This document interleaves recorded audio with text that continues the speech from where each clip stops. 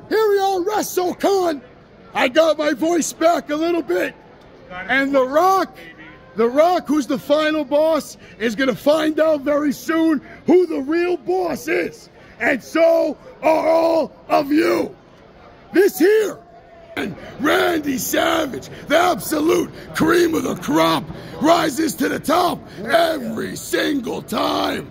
And unlike him, me, I'm just a savage. I'm not a macho man. I'm just a savage. He's just a common man. I'm a macho king. I support wrestling with Savage. And you know what? Tonight we're going to finish the story. Yeah, dig it. Uh huh. I'm gonna go back inside with my client, Marty Jannetty, who should be in the Hall of Fame.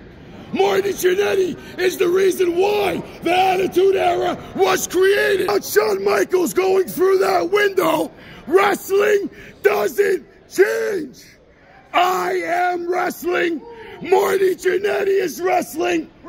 And if you want to see a legend, if you want to get an autograph that's going to be worth more money than everything in this room, one day, for maybe your kid, your grandkid, someone in your life you give a shit about, you will come to my table, you will meet me, and you will meet Marty Jannetty.